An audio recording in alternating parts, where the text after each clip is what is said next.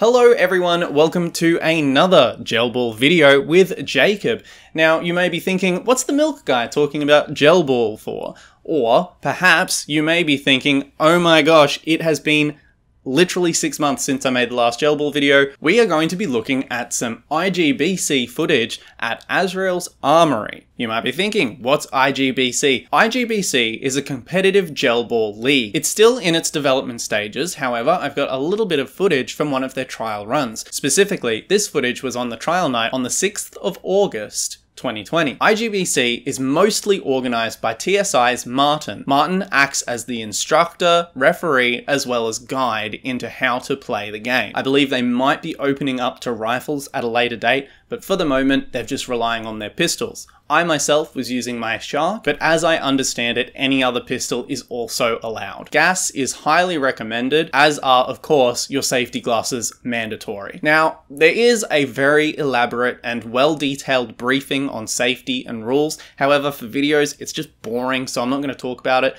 I'll give you a brief rundown so you can understand what you're seeing. When you begin the stage, you can go in any direction you like. This is called stagecraft. When you have eyes on a target, you must shoot it twice. However, under the instance of reasonable failure, which would be either gels not seemingly loading for unexplained reasons or gels flying off in unpredictable directions, you can be told to move on. This considers that you have engaged successfully and hit the target. On the floor can be seen green tape. If you step over said line, you will be penalized for every shot taken over the line, and you can also be penalized for failing to engage a target correctly. The penalty is in 3 seconds added onto your time, as the aim is to get the shortest time possible. It's not the type of game that you want to rush through mindlessly, you really have to to be a bit methodical, so as Martin says, sometimes you have to slow down to speed up. In this video, we're going to first see my very first practice run, which I do absolutely terribly in, followed by the three chronological trial runs that I actually did competitively. But without further ado, let's get right into that practice run. Shooter, if you're ready, stand by. Uh,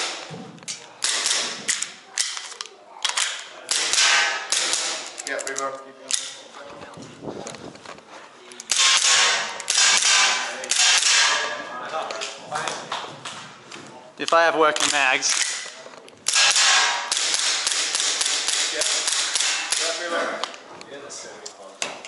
Lost my other mag.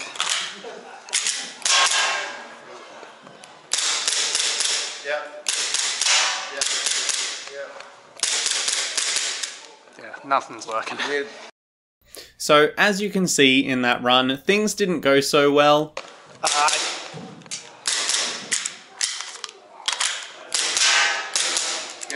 The initial gun failure really started to throw me off, however, I was determined enough to push through it, even though it was really frustrating. After getting through that first mag, I have a singular alley work really well for me.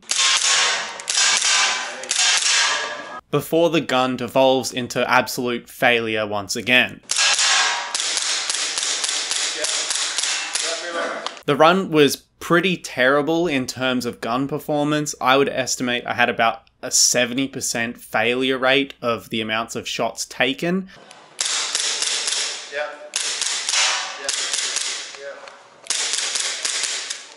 It's been figured out that the dryness of gels can really affect the gun's performance. If you're not regularly keeping them wet, it can absolutely destroy your performance. I had resulted to putting water in on the gels every time before I ran, which was a bit of an annoying process, but it was the only thing that slightly helped.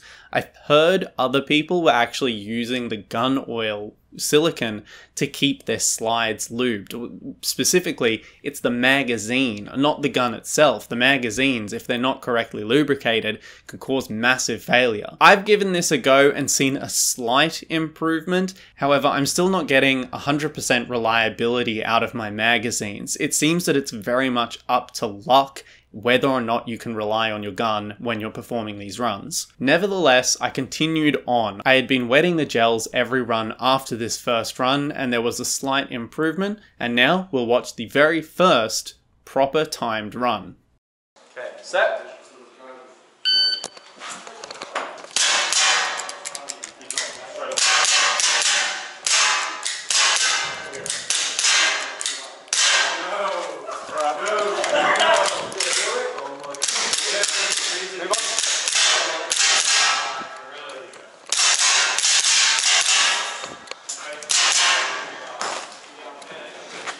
Wait. There.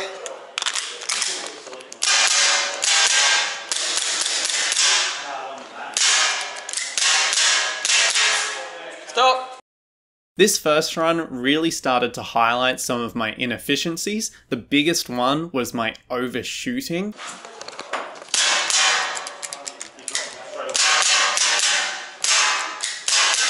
What would usually happen is the slide would lock back on my gun, and that would basically just clear my mind, really. And then I would drop the slide and not remember how many times I had already hit the target, causing me to shoot it twice, or at least make sure I've hit it twice. I didn't want to get the penalty for failure to engage correctly, so I just typically overshot way too much. The next biggest issue was the slow reloads. I don't have any real proper gear to be running uh, the magazines on my hip. So my reloads were usually digging a mag out of my pocket and oftentimes also literally they were just fed through my belt loops. I was pulling them literally out of my belt loop and sometimes I'd forget where I left them. Wait. There. So I could definitely use a lot more improvement in terms of what gear I'm bringing into these time trials. However, though, one positive note was that I was starting to see slightly better reliability from the pistol. Um, I was just keeping the gels really wet, and that was seemingly helping a little bit. However, I was also getting the slide locking back, so one thing started failing where another thing started improving. But with that out of the way, let's get into the next clip. Why?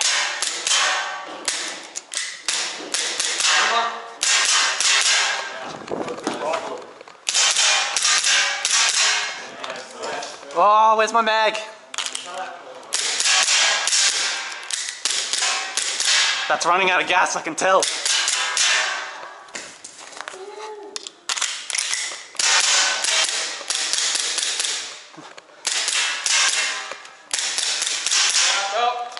So as you can see, the gun was still quite plagued with issues. Why?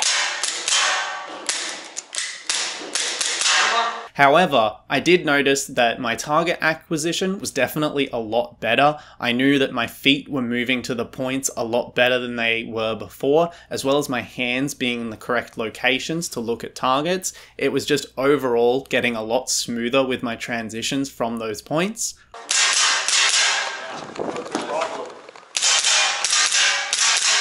Overall, it wasn't a terrible run. I could definitely see myself improving. However, there were a lot of mechanical failures, be that either the gun itself or the gels. I'm not too sure what would be the cause. There was a lot of splatters eh, towards the very end.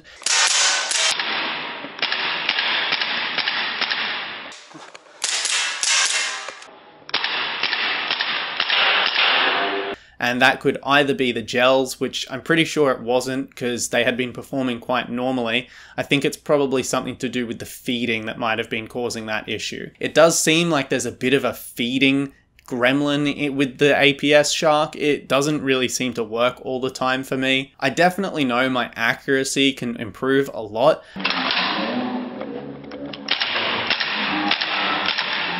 It was more so I wasn't even getting shots off to have my accuracy start to be the major problem. I'm sure I'll eventually be able to work out the mechanical faults eventually, and I know everyone deals with just bad luck with their runs because it is a level playing field in that sense. But I can't help but be frustrated that I can't really get enough shots off to even have a go at those 100% runs. And now, onto the very last clip of the night. Here we go.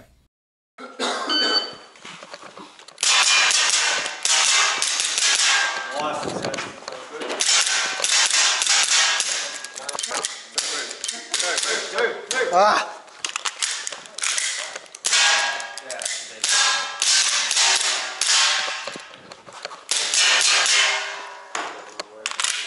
Oh, I did it again, sorry.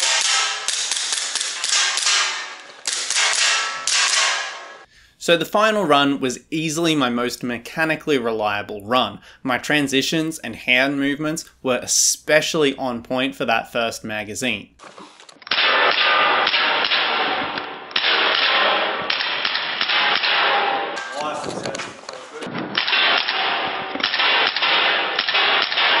The first magazine was almost perfect. There was a pretty big mess up, which was my own fault. I didn't hear the two hits of one of the trays.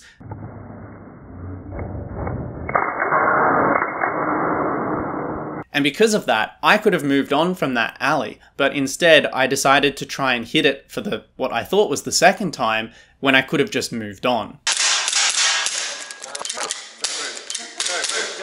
Ah! Because of that big fumble, my brain just sort of got a little bit flustered again, which I think is one of the biggest pressures is keeping yourself calm because as soon as you mess up, that can really throw off your run as well as your consistency. So, although the overshooting wasn't too big of an issue, it was an issue that immediately came back after that mess up. As for the reloads, I think I was actually getting quite a little bit more consistent for what they were. The second reload was actually quite smooth. I did it again. But the first one was directly after that mess up, and I knew that one could definitely use some work. Ah! As well as towards the end, there was one target which I don't know was either gel's fault or my own. It could have been my own accuracy. Some of the gels in the footage that I can see, and I can only see so much, I see some of the gels flying off in what looks to be strange trajectory, so I'm not sure if it was gel failure or my own.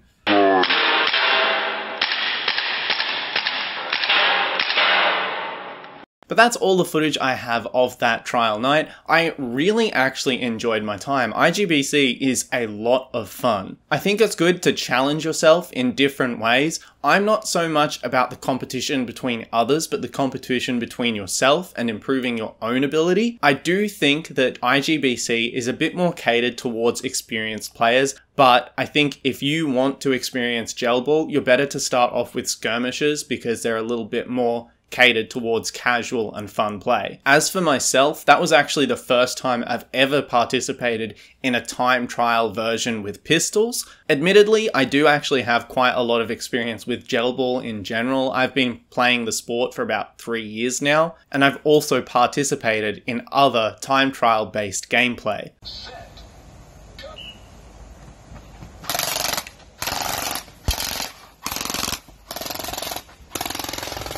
The footage that you just saw then was me using my Gen 8 in an earlier version of the IGBC before it had a name. But focusing on the topic, if you want to get involved in IGBC, make sure you look them up on Facebook as well as Azrael's Armoury, the hosts of IGBC, and drop a like on their Facebook page so you can keep up to date with more updates. The IGBC is the place where all of the events will be updated, so if you want to participate, make sure you keep a really close eye on IGBC. And of course, a massive thank you to Martin for hosting and organizing IGBC. It's his baby, really. He's the one who's really been pushing for it as well as organizing it all. So if you want to support Martin and his plight, make sure you look up TSI. It's Tactical Sports International, an online magazine. It covers real guns as well as the gel ball industry. So if you are interested in either of those, make sure you check them out on Facebook or Instagram. Just to address something for the future of my own channel,